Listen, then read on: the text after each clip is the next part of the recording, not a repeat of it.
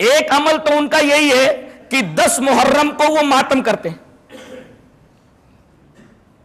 मातम करते हैं। मातम कब से शुरू हुआ? दो सौ इक्यानवे साल के बाद। किसके दो सौ इक्यानवे साल के बाद?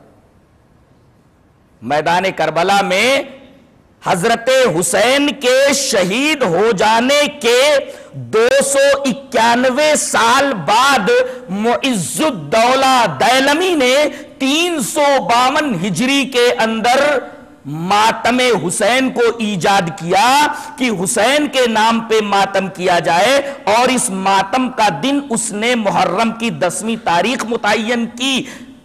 ज़ाहिर है कि करबला के वाकये के दो सौ इक्यानवे साल के बाद सन तीन सौ बावन हिजरी के अंदर मोइजुद्दौला दैलमी जब मातम हुसैन को ईजाद करता है, इसका मतलब यह हुआ कि इससे पहले यह चीज़ नहीं थी और इसको यह दीन शुमार करते हैं। ज़ाहिर है कि यह बिदात हुई। और इस हदीस के बिल्कुल खिलाफ। वान आयशा रज़ी अल्लाह तआला कालत, काल अलैहि वसल्लम, मन अहदस फ़ी अमरिना, हादा मा लैसा मिनहु फहुव रद्दुन रवाहु मुस्लिम फ़ी किताब अल-अक़दिया जहाँ फैसलों का बयान है इमाम मुस्लिम, वहाँ इस हदीस पाक राविया। हज़रत आयशा रज़ी अल्लाह तआला है। हज़रत आयशा रज़ी अल्लाह तआला फरमाती है कि रसूलुल्लाह सल्लल्लाहु अलैहि वसल्लम ने इरशाद फरमाया कि जो शख्स हमारे इस मामले में, यानी दीन के मामले में कोई नई चीज़ ईजाद करे तो वो चीज़ मरदूद है और ऐसा आदमी भी मरदूद है। यह रिवायत इमाम मुस्लिम किताबुल अखलिया में लाए। जहाँ तक अमल का मतलब है, अमल के बारे में देखिए। वहाँ आयशा रज़ी अल्लाह वसल्लम क़ाल, मन अमिला अमरुना रवाह मुस्लिम किताबिल अक़दिया। हज़रत इमाम मुस्लिम इस हदीस पाक को ऐसे अक़दिया में लाए। हज़रत आयशा फरमाती है कि रसूलुल्लाह सल्लल्लाहु अलैहि वसल्लम ने फरमाया कि जो आदमी ऐसा अमल करे जिसके ऊपर हमारी मुहर नहीं है तो वो अमल मरदूद है। ज़ाहिर है कि ये नबी के जमाने के बहुत बाद ईजाद हुआ और इसको ये लोग इबादत कहते हैं, दीन समझते हैं। ज़ाहिर है कि ये दीन में एक नई चीज़ है जो नबी के जमाने में नहीं थी, सहाबा के जमाने में बिदात हुई और इस बिदात को ये इबादत कहते हैं। यहाँ तक के दसवीं मुहर्रम के मातम को तमाम इबादतों से अफजल समझा जाता है। मैंने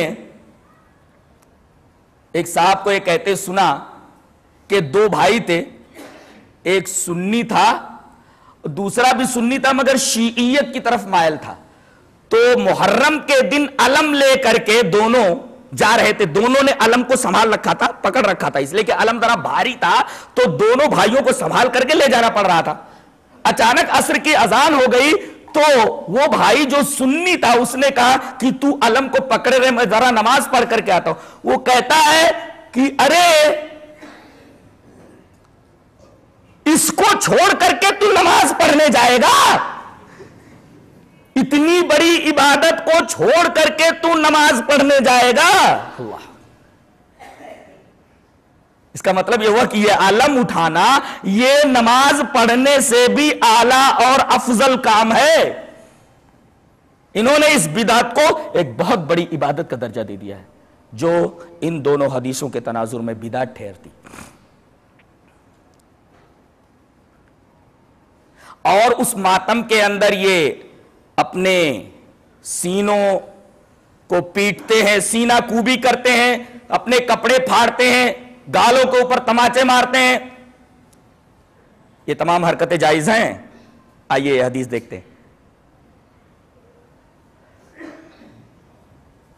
वान अब्दुल्ला रज़ी अल्लाह तआला काला नबी सल्लल्लाहु अलैहि वसल्लम मल्लतमल खुदूद व शक्कल जुयूब व दाब दावल जाहिलिया रवाहुल बुखारी फ़ी किताब जनाइज हज़रत इमाम बुखारी हदीस पाक वैसे किताबुल जनाइज के अंदर रावी हज़रत अब्दुल्ला इब्न मसूद है हज़रत अब्दुल्ला इब्न मसूद फरमाते हैं कि नबी करीम सल्लल्लाहु अलैहि वसल्लम ने इरशाद फरमाया वो आदमी हम में से नहीं जो गालों पर तमाचा मारे कुछ औरतें भी तौबा करते वक्त कहती तौबा तौबा तौबा तौबा ये गालों पर तमाचा नहीं मारना चाहिए तो वो हम में से नहीं, जो गालों पर तमाचा मारे, वो शक्कल जोयूब जो अपने गरीबान को चाक करे, अपने गरीबान को फाड़े, वो दाब दावल जाहलिया और जाहलियत की पुकार पुकारे। यहाँ देखिए, सीना, कूबी, कपड़ों को फाड़ना, गालों पर तमाचे मारना, जाहलियत की पुकार पुकारना, जैसा कि ये सब कुछ मातम के नाम पे हो रहा है, इस हदीस की रोशनी में नाजायज ठहरता है। नबी करीम सल्लल्लाहु अलैहि ऐसे लोग हम में से आए ही नहीं।